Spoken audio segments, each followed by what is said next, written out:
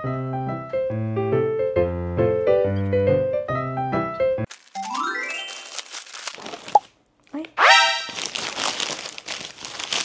Tingnan na. Ay, dalawa nga.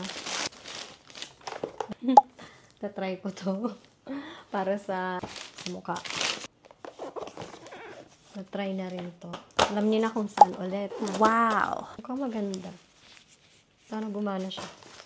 Baka kailangan pang i-charge. Hindi ko lang sure.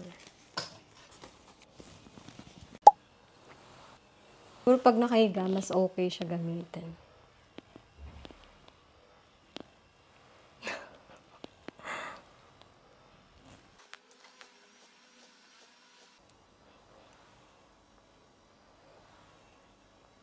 Sulit naman yung bili. Pwede rin daw to sa, ano, sa legs.